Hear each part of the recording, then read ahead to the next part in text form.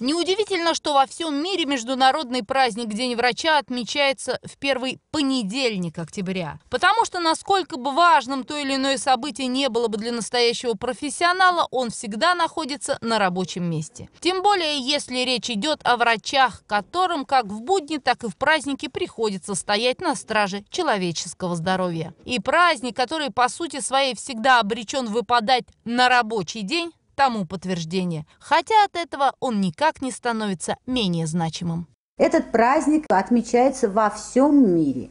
И мне хочется поздравить всех врачей, докторов, которые у нас работают в лечебных учреждениях округа Муром и Муромского района.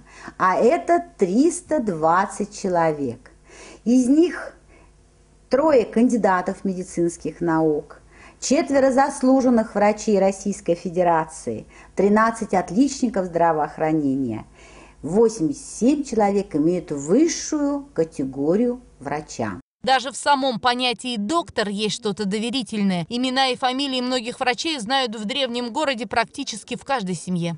Благодаря нашим корифеям здравоохранения, нашим заслуженным работникам здравоохранения, таким как Николай Леонидович Лебедев, таким как главный травматолог Миневрин Алексей Юрьевич, главный анестезиолог Черепанова Юлия Романовна.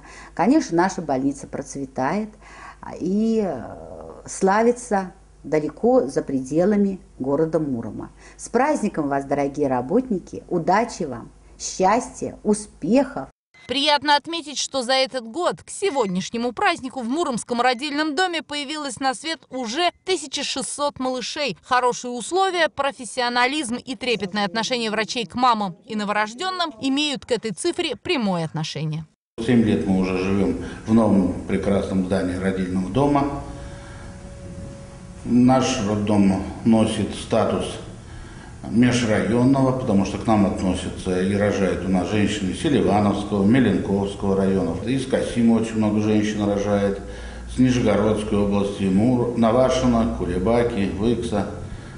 Поэтому роддом пользуется большой популярностью среди беременных женщин. Большая нагрузка на наших врачей, так что хочется пожелать им успехов в работе, чтобы все больные были довольны их работой.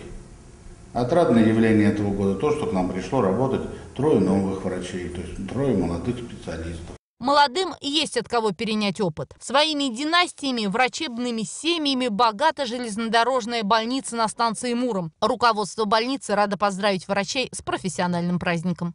Дорогие коллеги, именно вы являетесь костяком больниц. Именно на вас идут пациенты.